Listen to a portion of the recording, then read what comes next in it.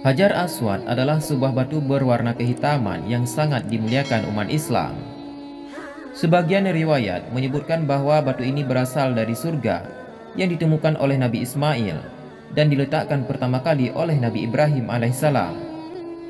Batu Hajar Aswad terletak di salah satu sudut Ka'bah di Masjidil Haram. Banyak jamaah yang saat berkunjung ke Mekah berusaha untuk mencium batu ini. Saking istimewanya, ternyata ada pihak yang pernah mencuri Hajar Aswad. Pada tahun 930, pemimpin Karmati menjalani rencana yang mengerikan, yakni menyerang Mekah. Saat pertama kali tiba di kota, dia tidak diizinkan masuk. Agar bisa masuk, dia mengambil sumpah damai yang bisa menjamin keberadaannya tetap membawa kedamaian. Namun sayangnya, dia tidak menepati janjinya. Semua yang dia lakukan sama sekali tidak damai. Pada hari pertama haji, kaum Karmati menyerang Mekah.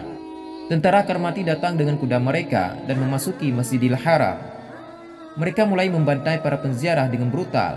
Ada sekitar 30 ribu jamaah haji tewas saat mereka salat di sekitar Ka'bah. Orang-orang Karmati mengejek para penziarah dengan ayat-ayat Al-Quran saat mereka dibunuh.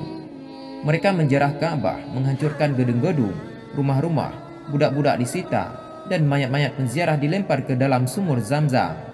Sementara mayat lainnya dibiarkan di jalan-jalan membusuk. Abu Tahir mengambil batu hitam itu dan menahannya. Kemudian dia membawa Hajar Aswad ke Masjid Al-Dirar agar bisa ditempatkan di sana. Dia ingin orang-orang dapat menjalankan ibadah haji di Masjid Al-Dirar. Namun Allah berkata lain, dia tidak pernah mendapatkan apa yang dia inginkan. Abu Tahir meninggal dalam kematian yang paling mengerikan. Tubuh dan dagingnya dimakan oleh cacing. Hajar Aswad diambil selama 23 tahun, kemudian dengan membayar uang tebusan yang sangat besar. Abbasiyah harus membayar sejumlah besar uang untuk mendapatkannya kembali.